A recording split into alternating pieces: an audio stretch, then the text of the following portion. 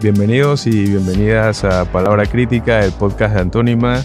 Hoy estamos junto a, la catedrática, catedrática universitaria, profesora de economía, economista, precandidata presidencial por la libre postulación, con una maestría también en valorización económica de bienes y servicios ambientales por Flaxo, la precandidata Maribel Gordón. Hoy vamos a estar hablando sobre el, tema minero. Y el tema que vamos a abordar más, eh, más que nada es qué hacemos con Minera Panamá. Y para iniciar, profesora, eh, bienvenida. Los micrófonos de Antónima siempre, siempre disponibles para, para usted. Queríamos empezar haciéndole esta pregunta, ¿no? ¿Cuál es el impacto social y económico de Minera Panamá en el país? Sí, Gracias a los compañeros y compañeras de Antónima por el espacio. Creo que es un tema que es fundamental reflexionar y analizar, porque uno se pregunta cuál es el impacto de la empresa y tendría que mirarlo respecto a algo, y ese algo es el país y es la sociedad, es la población. Entonces, desde hace algunos años, y fíjate que antes de 1968, en Panamá se colocó el tema minero como uno de los elementos para lo que denominan el crecimiento económico. Y ello levantó el interés de algunos sectores del país. Incluso en las reflexiones se dice que fue parte de las consideraciones que lleva al golpe de Estado de 1968, la disputa de los sectores oligárquicos por colocarse de manera significativa en el desarrollo para los intereses personales y empresariales de esta actividad.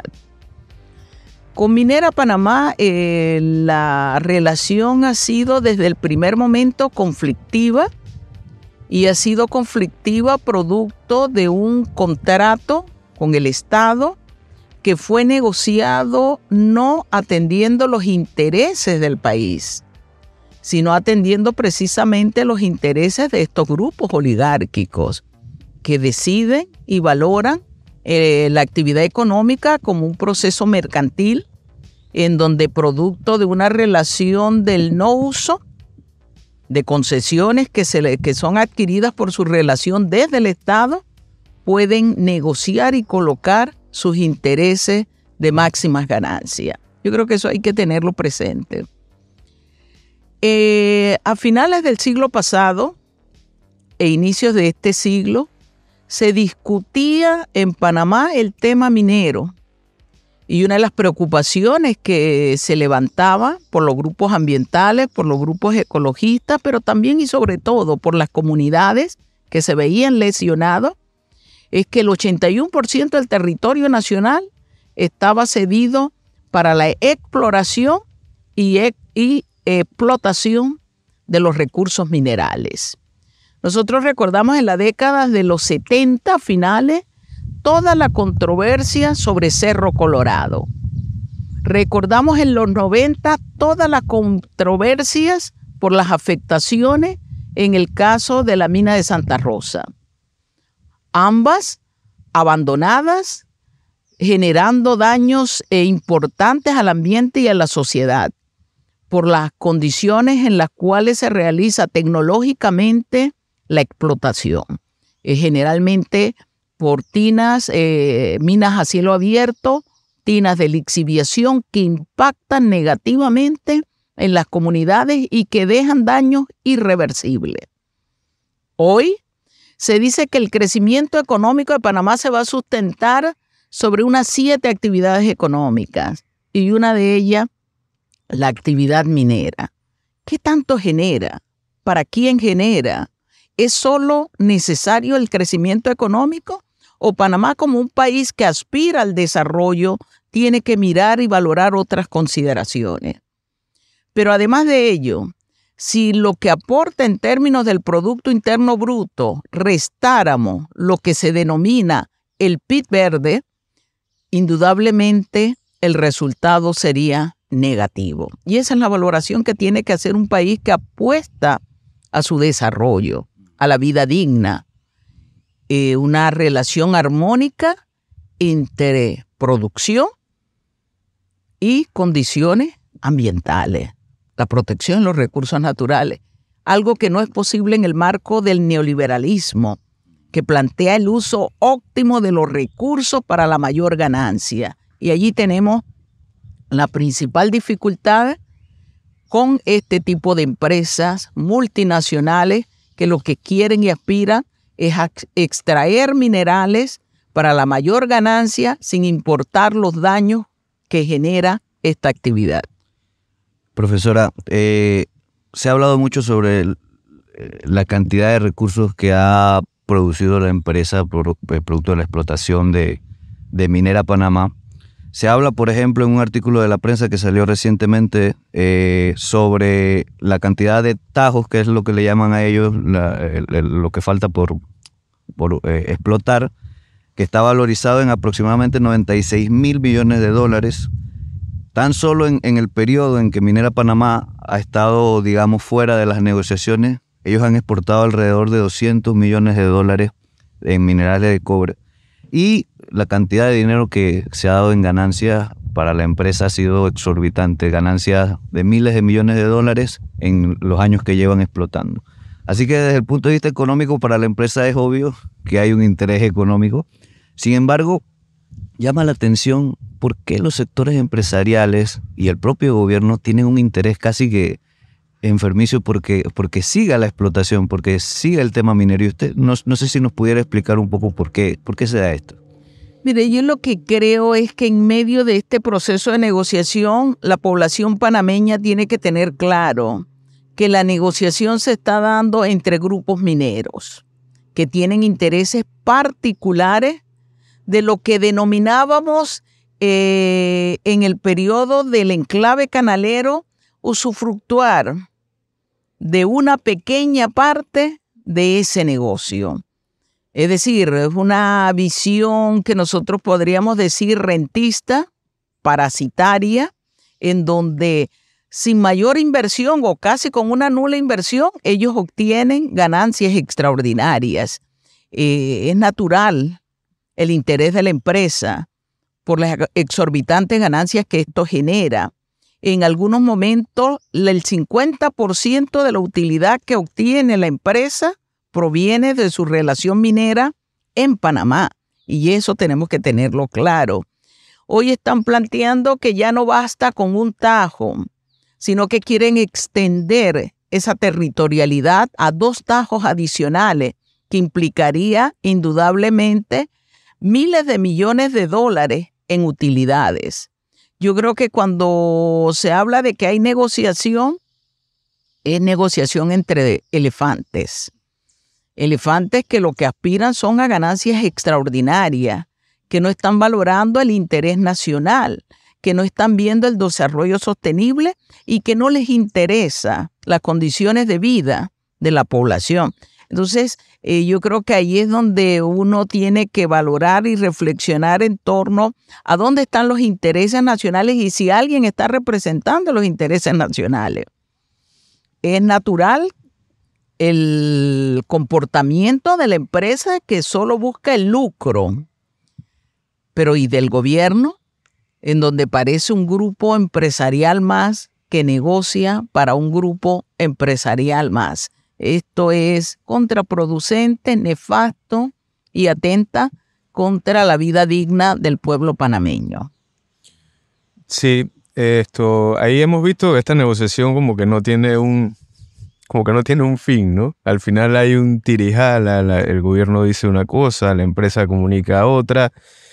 No hay, ah, ya han pasado semanas desde que, desde que vencía el, tiempo eh, de, de, la negociación eh, y no hemos visto mm, un avance real, no, hemos visto un avance para, para nada, ¿no?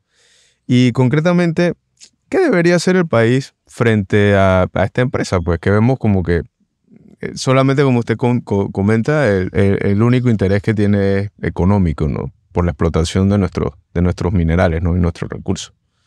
Bueno, yo creo que el país tiene que tomar una actitud, una conducta que vaya dirigido a garantizar las condiciones que hacen la vida saludable.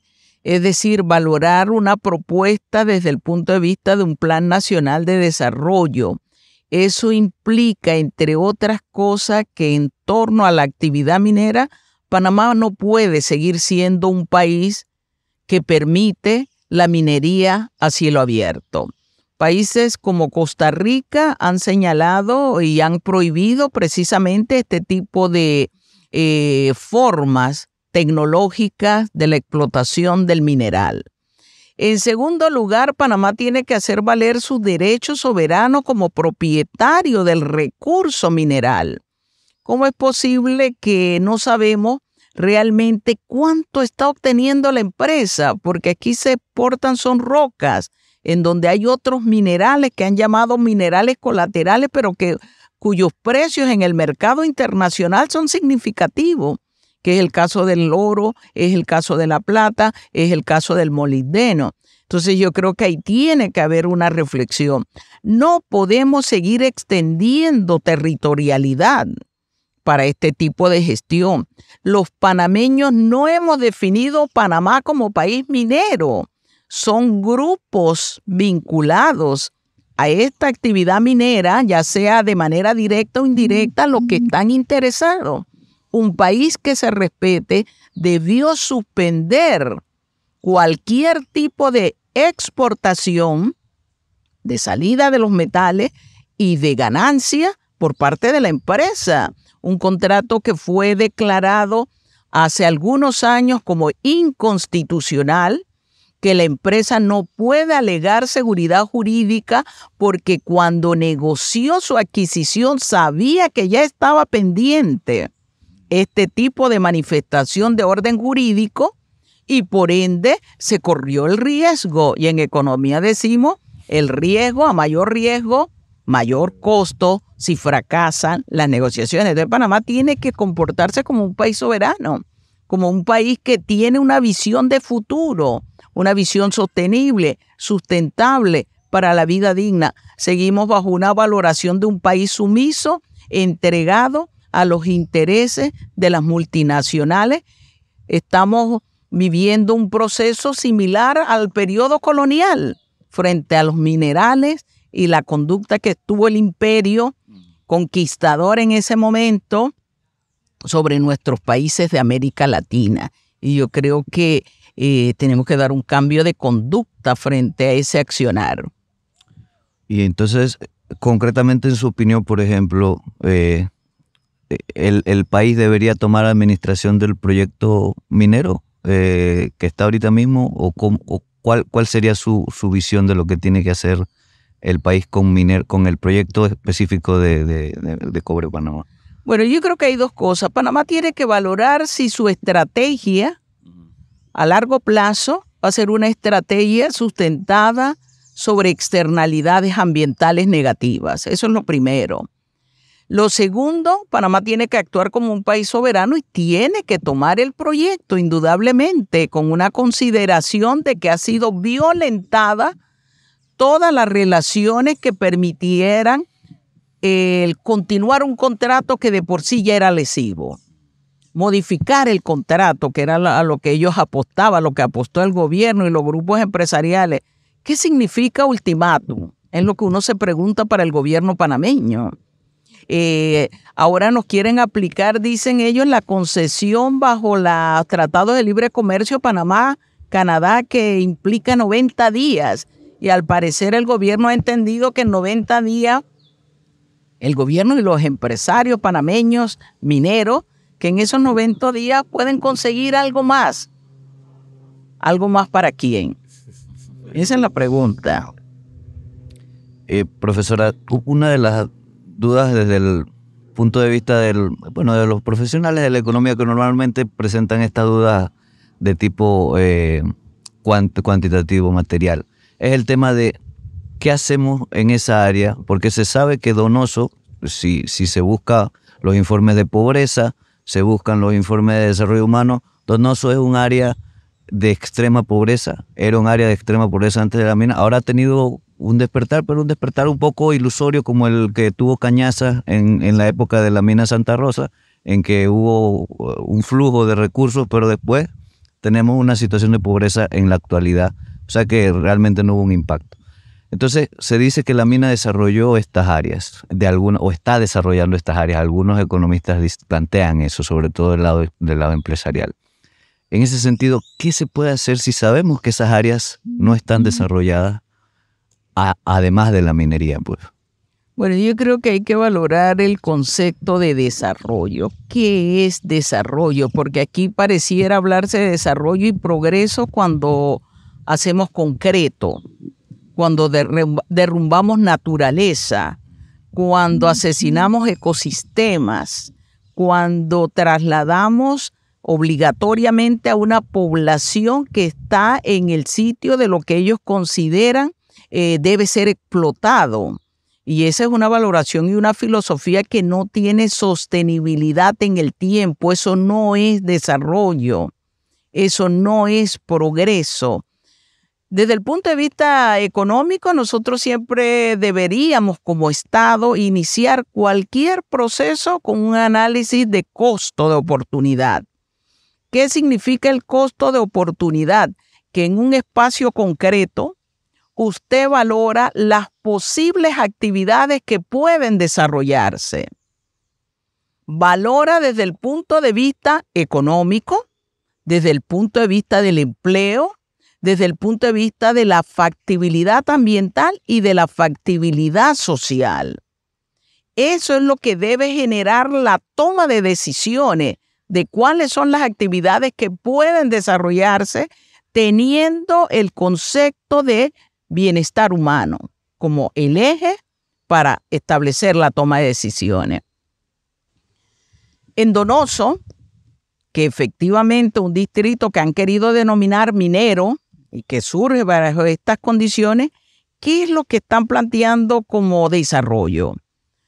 La apertura de algunos caminos que no son para la población, sino para la minera, la contaminación de ríos, el levantamiento de alguna infraestructura, la colocación de algunos empleos cuya población en el corto plazo va a padecer problemas de salud producto del trabajo y la labor que se realiza en las minerías, el polvo que genera esas actividades, los químicos que se utilizan, ¿quién va a resarcir el daño después que se va a la minería y que va a costar al Estado frente a una población enferma?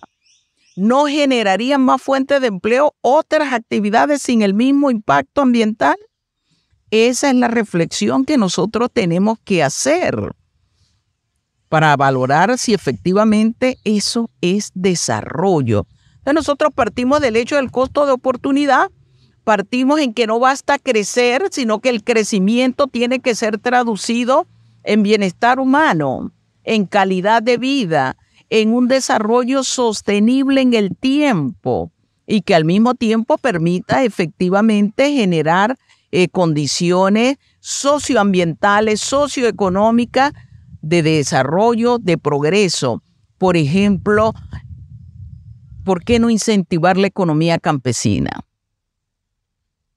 que mantiene identidad cultural, que genera alimentación, que genera empleos, que genera ingresos para esa población, que permite efectivamente tener un concepto de valorización económica de los bienes y servicios ambientales desde el punto de vista multicriterial y no unicriterial. Cuando miramos eso, y sumamos, efectivamente, la actividad minera tiene el menor porcentaje de desarrollo que entre comillas, porque eso no es desarrollo. Sí, al final eh, estamos hablando de actividades que van a eh, preservarse en el tiempo, ¿no? La, minera extrae, la, la, minería extrae lo que hay, devasta y deja el lugar completamente como un solar, diríamos, ¿no? y la gente queda sin, sin la tierra para trabajar, sin, sin y, y, con esto eh, que usted bien menciona, que produce también enfermedades, produce eh, pérdida de, valor del, lugar y tal, ¿no? Es un poco, eh, a la larga uno lo ve, es una situación triste, ¿no? Sobre todo para los lo que, lo que residen en ese área, ¿no? Pero finalizando, profe, ¿qué hacemos entonces con la, con la actividad minera de Panamá? ¿Qué hacemos con la actividad minera? Uno, yo creo que tenemos que partir de esa visión que nosotros llamamos estratégica. La visión estratégica siempre nos coloca en pensar el futuro. Y cuando pensamos el futuro, pensamos a largo plazo qué tipo de ciudad, de sociedad, de comunidades queremos tener. Yo creo que ahí está la reflexión que tendríamos que hacer. Si lo que queremos son grandes tinas que están generando daño ecológico después de haberse retirado la empresa.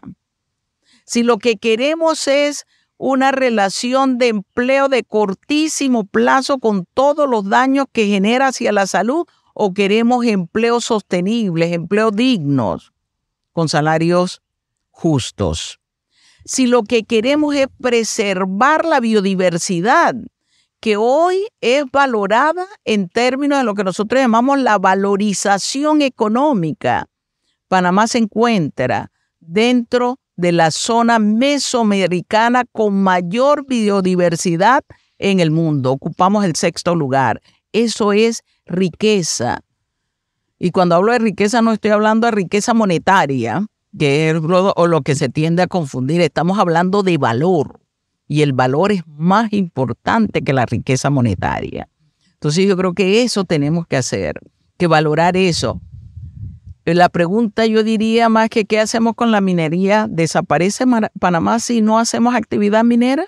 ¿O estaríamos viviendo con un proyecto más sostenible en el tiempo? A eso debemos aspirar. Sí, de hecho la mina la mina rompe, pasa por prácticamente la, todo el corredor mesoamericano, ¿no? Todo el corredor mesoamericano. Y, evidentemente eso va eh, golpeando la, vida silvestre, la vida natural del, corredor, ¿no? Que debería ser en realidad un área protegida y, aquí en Panamá pues como que mm, hay muy poco interés, ¿no? Y, vemos a los vecinos, a Costa Rica, que eh, como usted bien menciona, eh, eh, han, han hecho todo, todo lo necesario sus su, gobiernos para evitar que haya explotación minera y para preservar su, vida natural, ¿no? Y, la han explotado también turísticamente, ¿no? Así es. Y Panamá podría ser algo, algo similar, e incluso hasta mejor, pero al parecer los que, los que los que nos gobiernan tienen otra, otra percepción de... Tienen una percepción cortoplacista, inmediatista, rentista a favor de sus intereses. Y fíjate algo que se me ha pasado, y es que se dice, bueno, pero Chile explota. Eh, el problema es que en el caso, si lo viviéramos solo territorialmente, eh, Panamá tendría que dar prácticamente el país, como decíamos, en los 80 al 81%. Si a eso le sumas el área canalera, eh, decían por allí, ¿dónde vamos a vivir los nativos de este país? Profesora, eh, bueno, a raíz de, ya para ahora sí, para terminar, ahora sí, eh, usted está en un proceso de, candidatura, usted tiene un, mensaje hacia, hacia las personas por el tema de las firmas y en este caso específico de la minería, en el caso ambiental, o sea, ¿cuál es la esencia de su propuesta? Y si la gente quisiera saber más, ¿dónde pudiera encontrar más? Y, eh, más que todo eso para que finalicemos con eso. Sí, estamos en este proceso, pero nuestra propuesta no viene del proceso de la precandidatura por libre postulación a la presidencia de la República. Ya en años anteriores nos hemos manifestado. Nosotros somos del criterio que cualquier política económica en Panamá Cualquier plan tiene que estar gestado sobre la vida digna. Y digo la vida digna que incluye a la flora, a la fauna, a nosotros los seres humanos, eh, al ecosistema, eh, porque hay daños que son irreversibles. Nosotros hablamos de un desarrollo y no nos gusta, y fíjate cómo surgen los apellidos de humanos sostenibles porque hemos atentado contra el desarrollo, entonces para hacerlo visible ahora tenemos que poner apellido. Nosotros creemos en el desarrollo y lo entendemos como eh, bienestar humano, creemos en una relación armónica entre proceso productivo y naturaleza. No creemos en derrochar naturaleza. Creemos que eh, la parte de la vida implica garantizar que tengamos naturaleza. Entonces, eh, tenemos una propuesta desde ese punto de vista, una propuesta desde el punto de vista ecológico, también de cómo deben eh, priorizarse el uso de los recursos naturales en nuestro país. Es una propuesta que se encuentra en la página del Tribunal Electoral, donde hicimos eh, manifiesta nuestra intención de precandidatura y que también está en nuestras redes, en las cuales eh, pueden, tanto en Twitter, eh, en Facebook, en Instagram, ahí aparecen las direcciones donde se puede accesar a la propuesta de Maribel Gordón, la opción bueno, dicen la opción correcta, yo siempre digo que la opción correcta es el plan para la vida digna. Mm. Muchas gracias, profesor, por acompañarnos. Muchas gracias, profesor. Gracias por la invitación. Palabra Crítica, el podcast de Antónima. Comunicación para transformar la sociedad.